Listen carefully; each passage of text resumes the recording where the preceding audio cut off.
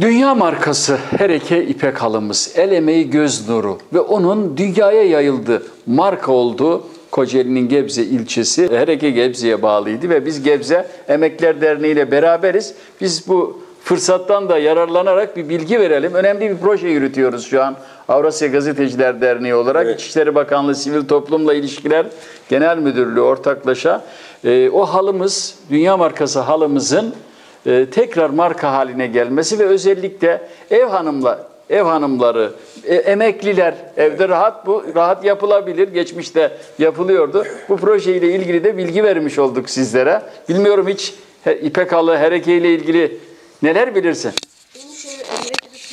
Şöyle bir hem dinleyelim. Onlar evde yapıyorlardı zaten. Çok güzel halılardı. Fakat e, emeklerinin karşılığını alamadıkları için daha sonra bu işleri bıraktılar.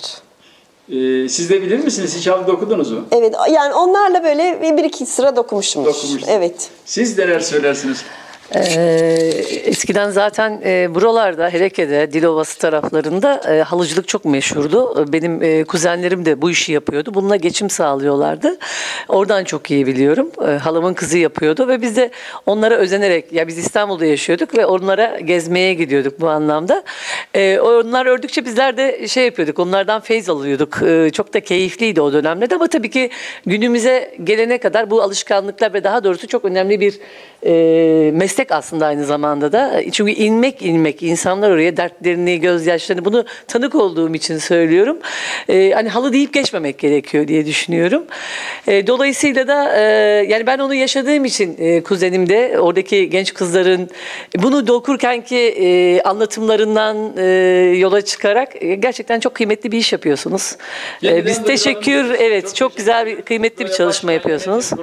Ve sizlere de Çok teşekkür ediyorum. E, emeklerinize sağlık diyorum. Başarılar e, diliyorum. Yolunuz açık olsun. Çok sağ olun. Alas, buyurun.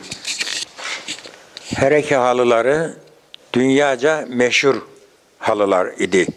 Ve bizim annelerimiz, anneannelerimiz de bu hereke değil de koyunların yününden eğirir, dokur ve halı yaparlardı. Sizlerin de hem bizim derneğimizi tanıtma anlamında hem bu gazeteci olarak çok büyük emekler sarf etmiştiniz onu görüyorum.